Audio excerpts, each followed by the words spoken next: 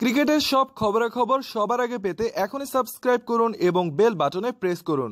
নিউজিল্যান্ডের ক্রাইস্টচার্চের মসজিদে ভয়াবহ সন্ত্রাসী হামলার থেকে অল্পের জন্য রক্ষা পেয়েছে বাংলাদেশ দল। সেই মসজিদে জুমার নামাজ আদায় করতে গিয়েছিল টাইগাররা।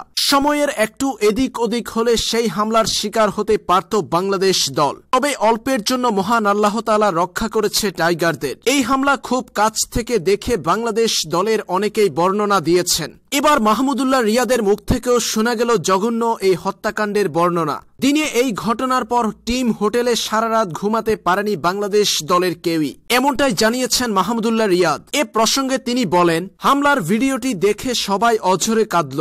একা রুমে থাকার সাহস পায়নি এক রুমে চার পাঁচ জন করে ছিলাম। মূলত কি অবস্থা থেকে আমরা বেঁচে এসেছি তার ভয়ে আমরা সারা রাত ঘুমাতে পারিনি। অনেক ভাগ্যবান ছিলাম। এখন আমরা দেশে ফিরেছি আপনাদের দোয়ায়। এরপর মাহমুদুল্লাহ রিয়াদ আরও বলেন, এটা বর্ণনা করতে পারব না আমরা কি দেখেছি। নিউজিল্যান্ডের মতো দেশে এটা অপ্রত্যাশিত। দিনের ঘটনায় আমরা পুরো রাত আতঙ্কিত ছিলাম। তাই ঘুমোতে পারিনি। যখন রুমের মধ্যে ছিলাম তখন বুঝতে পেরেছি আমরা কতটাই ভাগ্যবান। মূলত সেদিন শুক্রবার হোটেল আল নূরে ভয়াবহ সন্ত্রাসী হামলার ঘটনায় আতঙ্কিত হয়ে পুরো রাত ঘুমাতে পারেনি বাংলাদেশ। দেশে আসার পর এমনটাই জানিয়েছেন মাহমুদুল্লাহ রিয়াদ। এই স্মৃতি থেকে এখন বেরিয়ে আসতে চান তিনি।